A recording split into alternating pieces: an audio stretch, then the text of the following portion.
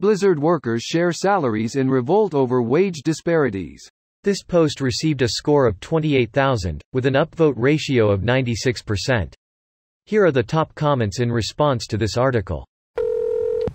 I worked there briefly and I can tell you the major problem is that so many people aspire to work at Blizzard and will do anything and put up with anything to be a part of their games that Blizzard really has no reason to pay people better.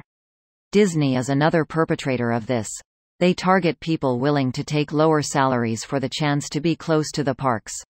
When interviewing there for a job out of college I listed a pretty standard salary for my field only to be met with disdain from our Thankfully I got another job offer for more than that number and my decision was easy.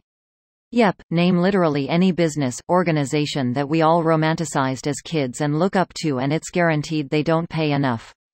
Zoos and aquariums are a big offender with this as well, because for every employee, there's often 10 volunteers, interns eager to do their job for free. It's really any passion industry. If management knows people want to do it, they know they can pay less because of that want. It's also rampant in the non-profit sector. Salaries should not be private. This tactic is how companies get away with paying you less. Isn't it funny how sharing salaries, a free and understandable exchange of relevant information amongst laborers, is considered an act of revolt? It's really sad when you say it out loud like that. Everyone is so greedy. The last lines of the article really hurt me. An employee and their partner stopped talking about having kids because they knew they wouldn't be able to afford it. A company paying the CEO $40 million a year, won't pay their experienced full-time staff enough to have a family. What is this modern-day servitude? As someone who works for a F100 company which is much bigger than Blizzard. I feel this in my core. Anyone else still boycotting Blizzard? Does it count as a boycott if you're just not interested in their product? I mean, maybe if they made an actual Warcraft game again I could boycott it. Yay, after the WC3 remaster fiasco my boycott has mutated into disinterest. I'll enjoy the memories but the Blizzard of even a decade ago is gone.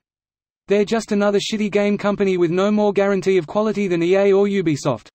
I don't mean this as a dramatic note, but Blizzard is a company that no longer exists. In actuality, the company called Blizzard that made the Warcraft and such games is extinct in fact. Activision bought the company, every senior leader is long gone and no corporate culture exists to retain their vision. At least with companies like Disney and Apple you see a corporate culture that wants to maintain the philosophy that made them successful. Activision Blizzard is a mutant. This video was automatically created by Reddit to speech. The article and comments in this video were selected from Reddit according to their upvotes, and any paraphrasing was performed by smmry.com, without any human intervention.